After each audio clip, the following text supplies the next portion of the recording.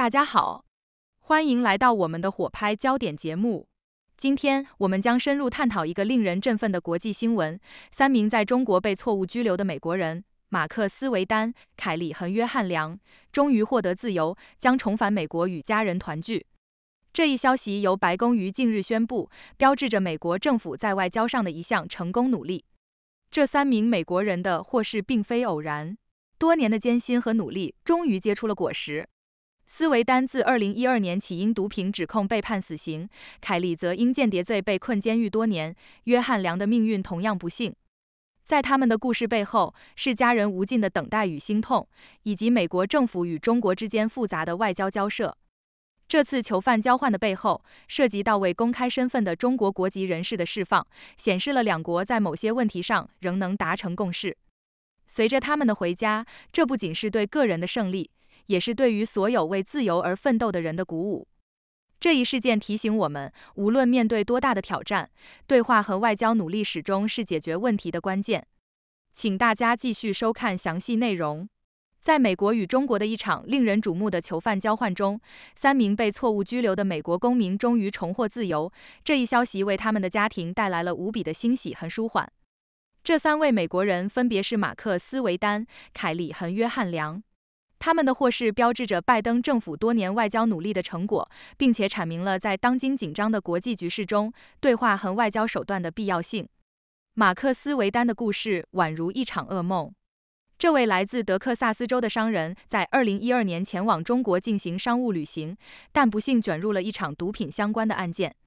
在缺乏实质证据的情况下，他被判处死刑，多年来在中国的死刑监狱中度日如年。斯维丹的家人不断呼吁美国政府的介入，并在国际社会上发起运动。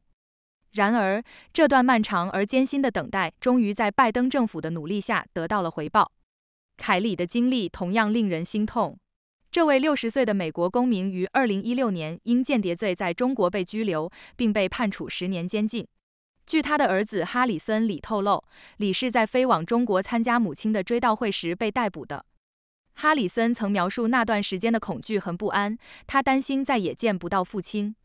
如今，随着凯里的获释，他们一家人终于可以重聚，迎接新的未来。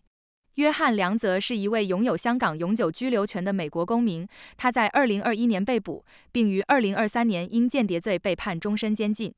梁的案件引发了外界对中国司法透明度的广泛质疑。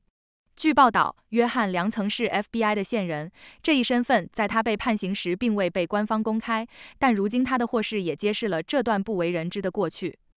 这次囚犯交换的协议由拜登政府与中国多次高层次会谈中达成，这也包括拜登总统在秘鲁的亚太经合组织峰会期间与中国国家主席习近平的会谈。这次释放被认为是为美中两国在某些问题上达成共识铺平了道路，显示了即便在紧张的国际关系中，双方仍有可能在某些议题上合作。根据 CNN 的报道，这三名美国人的获释是以交换未公开身份的中国国籍人士为条件的。在此事件后，美国政府迅速调整了对中国的旅行建议，表示对中国大陆提高警惕。国务院将斯维丹亨里的案例认定为错误拘留，而另一名错误拘留的美国人大卫林也在不久前从中国获释。这一事件在国内外都引起了广泛的关注和讨论。NY Times 指出，这次交换可能涉及到至少一名在美国的中国囚犯的释放，这意味着两国在此类敏感议题上的合作空间。虽然具体细节尚未公开，但这次事件的背后是复杂的外交博弈。人权组织对话基金会创始人约翰·卡姆指出，中国通常不进行囚犯交换。他认为这次行动不仅是对即将卸任的美国总统拜登的一个告别信号，也可能是向即将上任的领导曾展示一种合作的意愿。随着这三名美国人的释放，无论是对他们的家庭还是对美国政府来说，都是一个值得欣喜和庆祝的时刻。他们的获释不仅是多年来艰难处境的解脱，也是人权倡导的胜利。这一事件再次提醒我们，无论在多么艰难的情况下，通过外交手段解决国际问题始终是一条可行的道路。随着未来的发展，更多的细节可能会浮现，这也将进一步影响到美中关系的走向。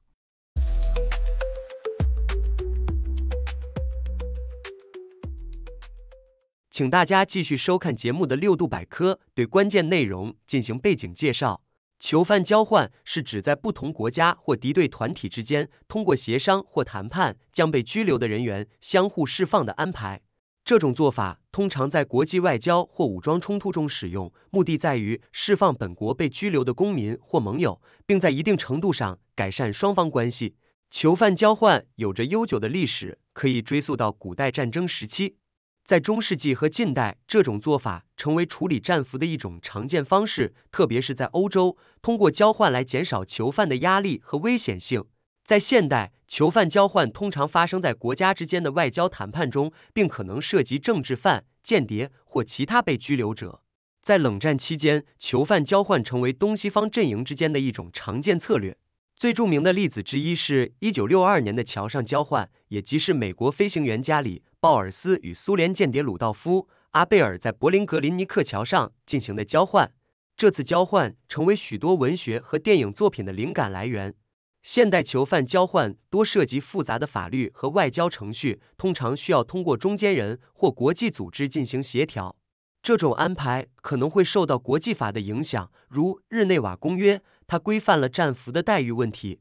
尽管如此，囚犯交换在某些情况下可能会引发争议，特别是当涉及恐怖主义嫌疑犯或政治犯时，这可能引发人权问题和有关合法性的辩论。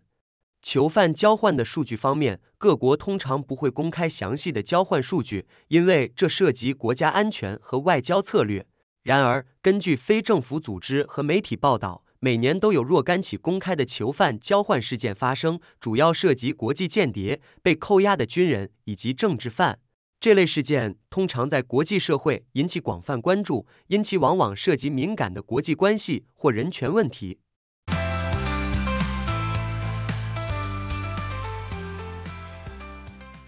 六度 AI 克隆声音系统，让您拥有一百四十五种语言能力的新时代。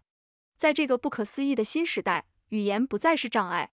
六度 AI 克隆声音系统隆重推出，这项由欧洲、美洲、亚洲的顶尖科技、语言和媒体专家合作开发的创新技术，现已开放使用。该系统能够克隆您的声音，并将文字转换为语音，使您能够掌握多达一百四十五种语言和方言，为您的生活和工作提供全方位的支持。革命性的多语言能力。六度 AI 克隆声音系统的最大亮点在于其广泛的语言覆盖范围，无论是商务会议、国际交流、教育培训，还是日常沟通，这项技术都能让用户在全球范围内自由交流。只需几分钟，用户便可轻松克隆自己的 AI 声音，体验从未有过的多语言沟通能力。简单便捷的使用体验，使用六度 AI 克隆声音系统非常简单，无需任何专业设备。也不需要学习复杂的技术知识，用户只需进行简单的操作，即可完成声音克隆过程，并将其应用于各种场景。无论您身处何地，都能通过这项技术突破语言障碍，实现高效沟通。广泛的应用场景，这项技术的应用范围广泛，从商业到教育，从媒体到娱乐，都能发挥重要作用。对于企业来说，这意味着可以更好的与全球客户和合作伙伴沟通。